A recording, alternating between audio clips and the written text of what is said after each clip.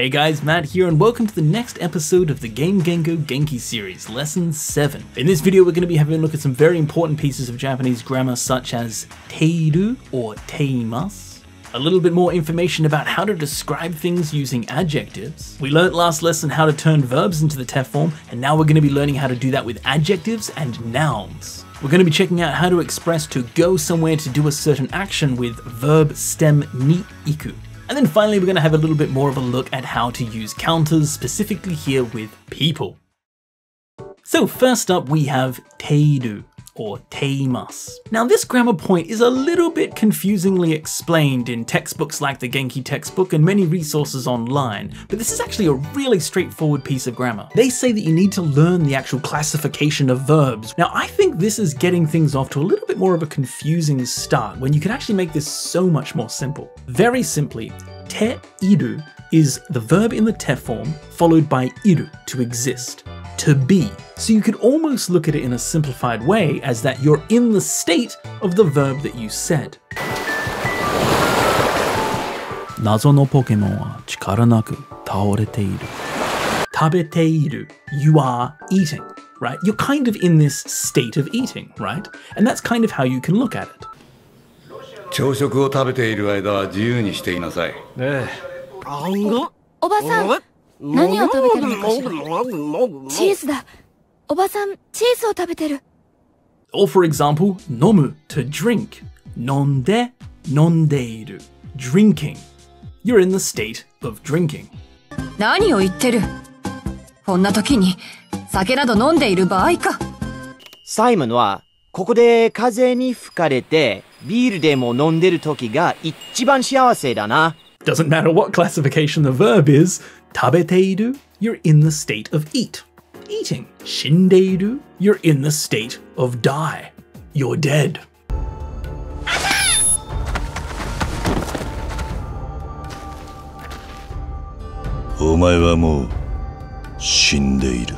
So you could look at it in this very simple explanation that it's just the state of the verb, right? Is eating, is dead, is awake.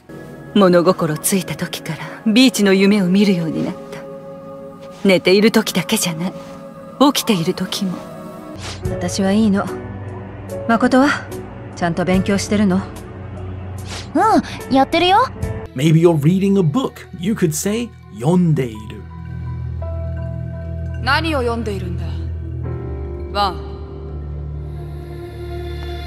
ゼロか Or perhaps you're doing something right now.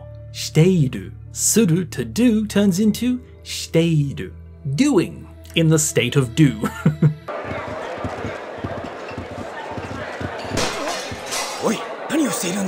to be married.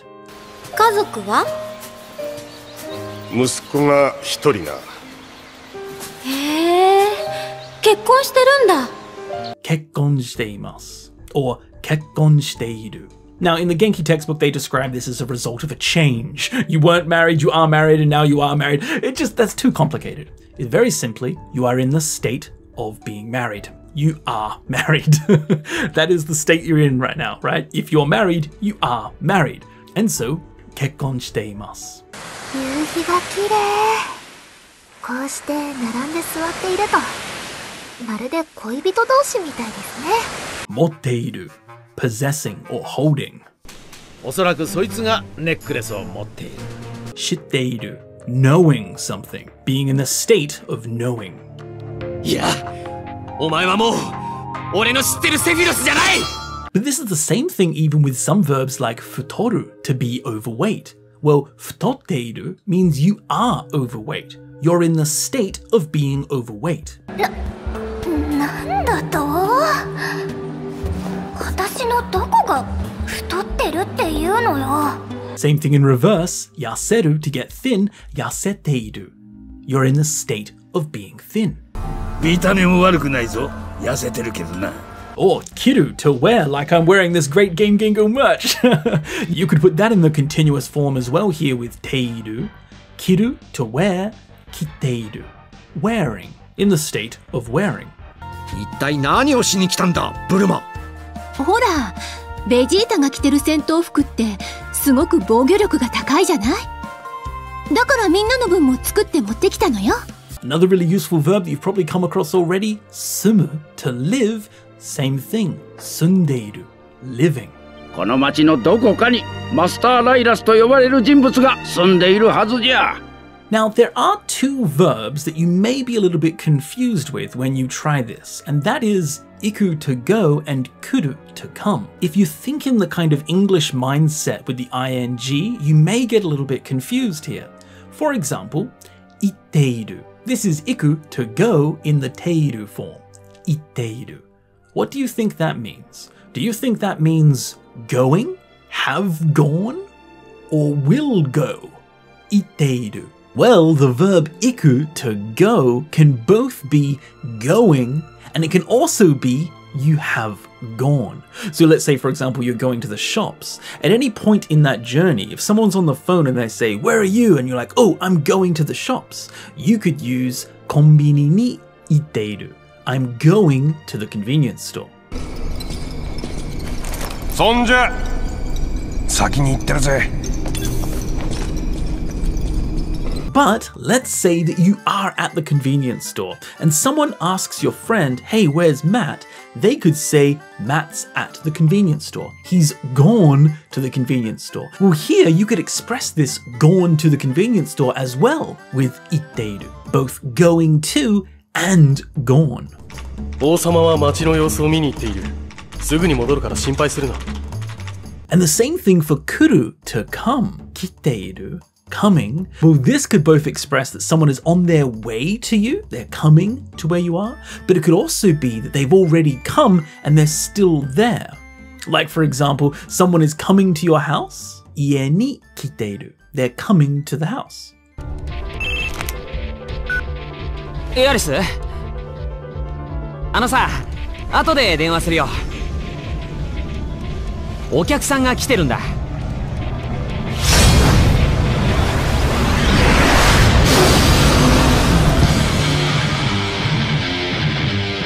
But if someone's already at your house, you could say they've come to the house using kiteiru as well. いやそれより中岡は来てるか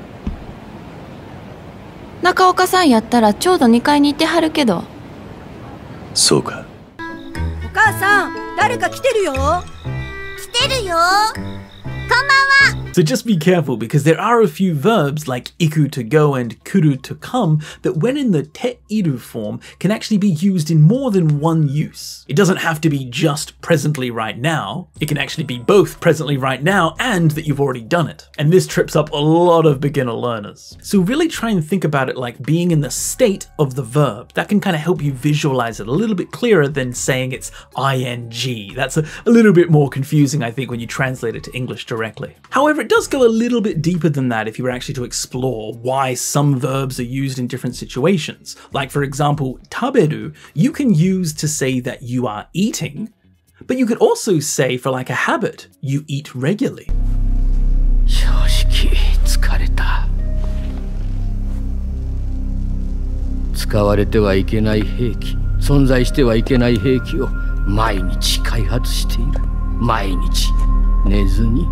Whereas verbs like shinu, to die, you can only use when you're saying you are dead. You cannot use shindeiru to express you are dying.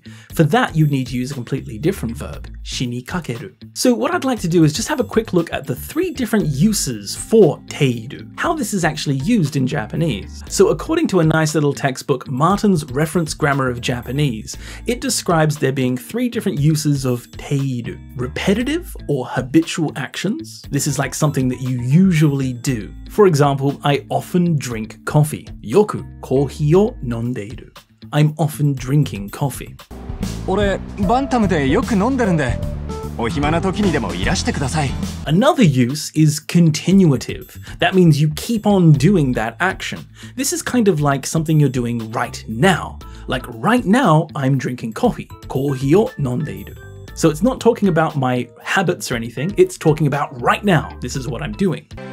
ドロテアこんなに遅い時間まで勉強しているの And then the final use of teiru is talking about the results, kind of resultative. Like for example, omae wa mo shindeiru. you are already dead.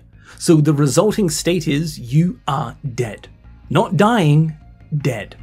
彼はすでに死んでいる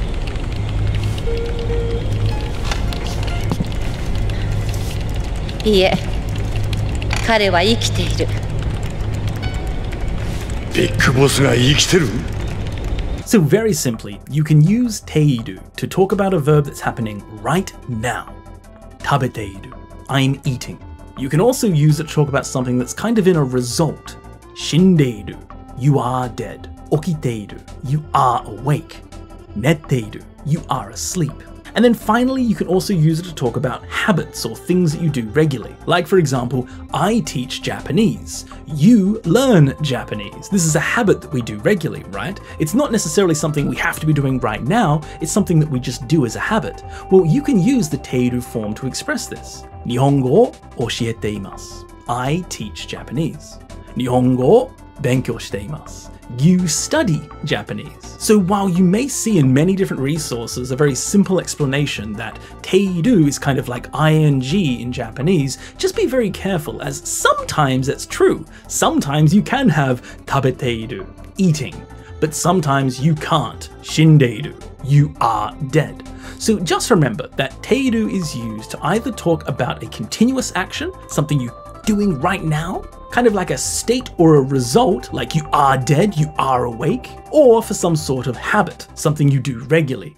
I teach Japanese, you study Japanese. So, as the teiru form is just a combination of a verb in the te form and then iru to exist. That means you can conjugate it in the exact same way that an iru verb is conjugated. That means if you wanted to say the negative, you aren't eating, or you are not dead, or you are not reading, all you have to do is just conjugate the iru verb into the negative form. That's it. Keep it in the te form, but just change this iru into inai or imasen.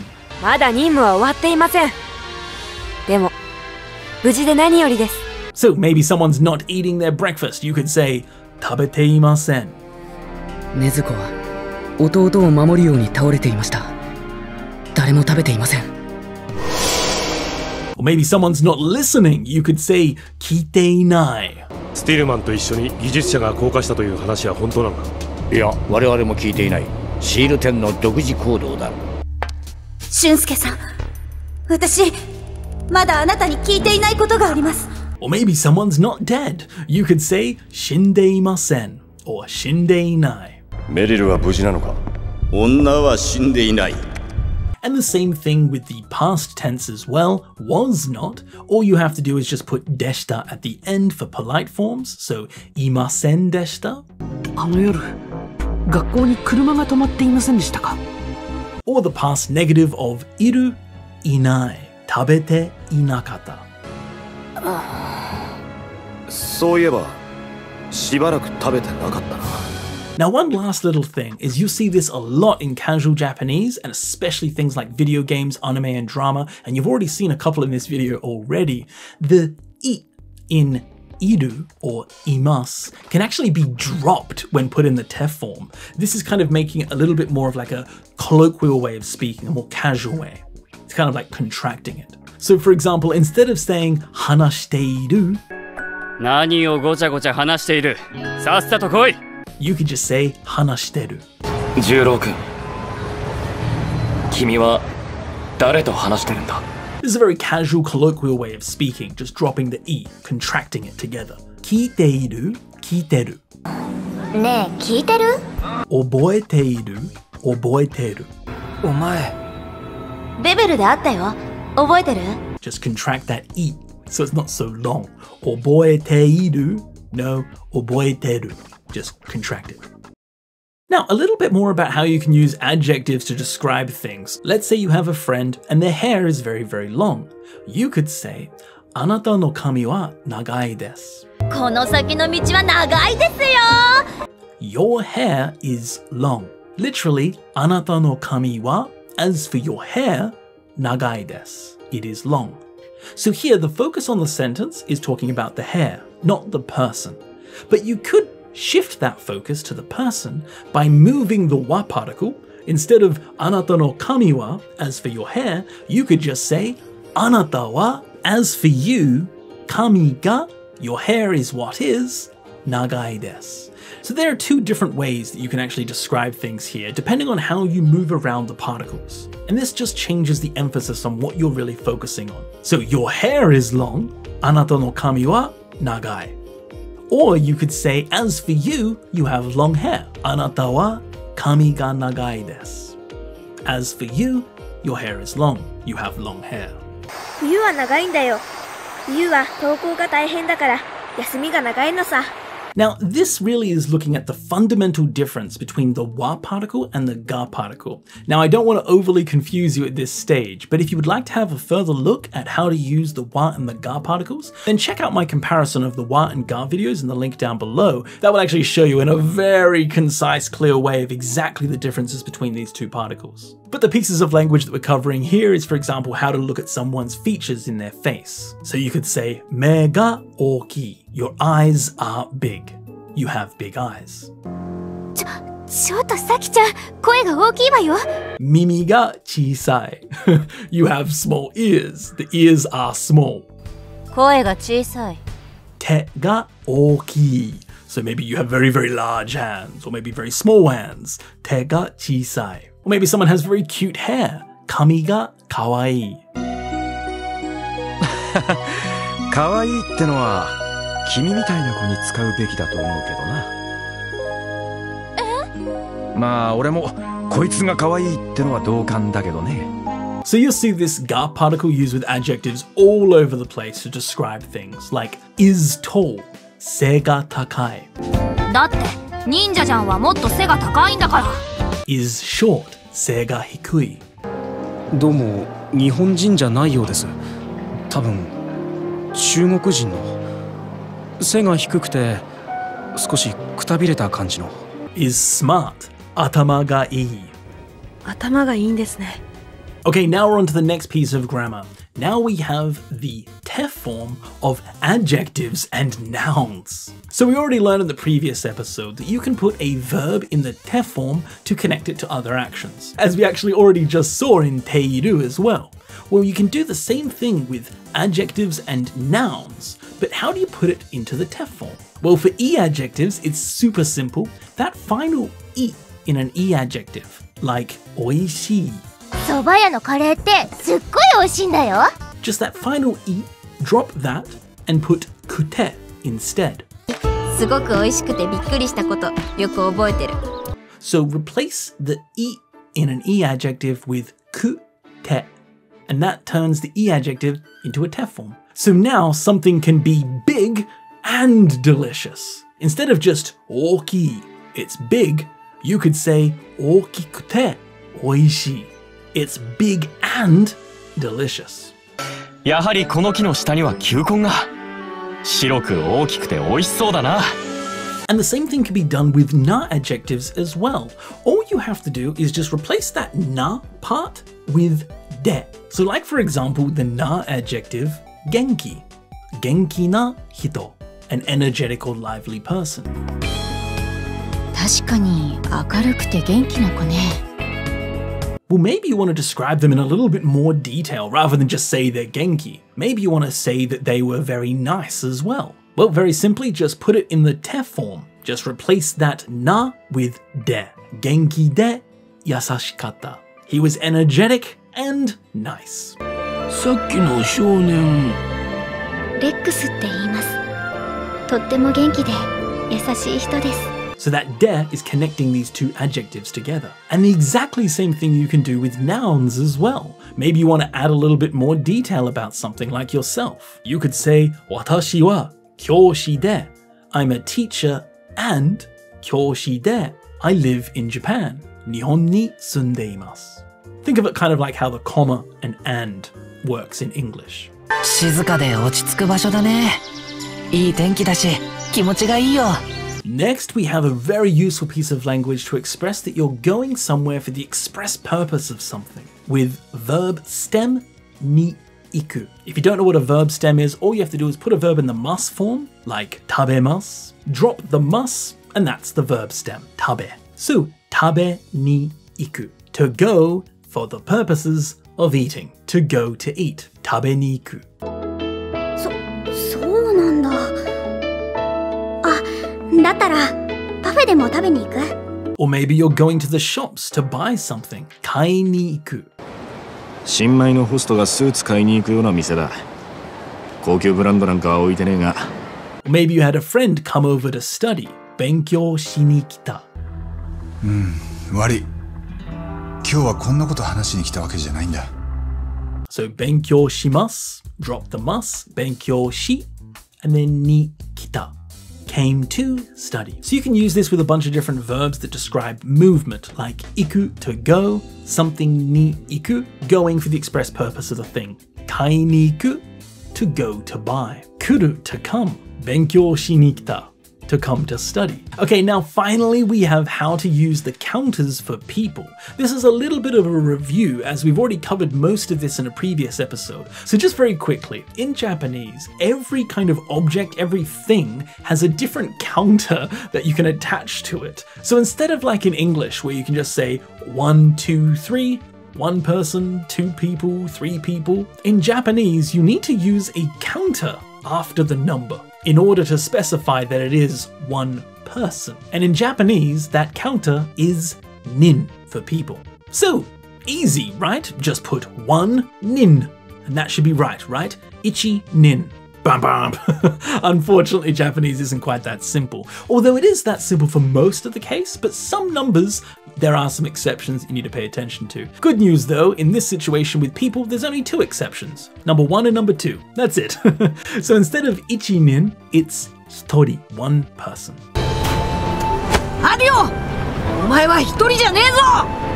And instead of ninin, two people, no no, it's just futari. So hitori, futari. One person, two people. And luckily, every other number from 1 to 10 is just the number plus nin. San nin, three people. こうして三人無事に合流できたんだ Yonin, four people. そこの4人動くな4人で手分けして仕掛けるか Gonin, five people. いいか義乳特戦隊ってのは今の俺いやそれ以上かもしれんそんな奴らが5人もいるんだ。6人 ,6 people. 6, 人。6人が死んだ。7人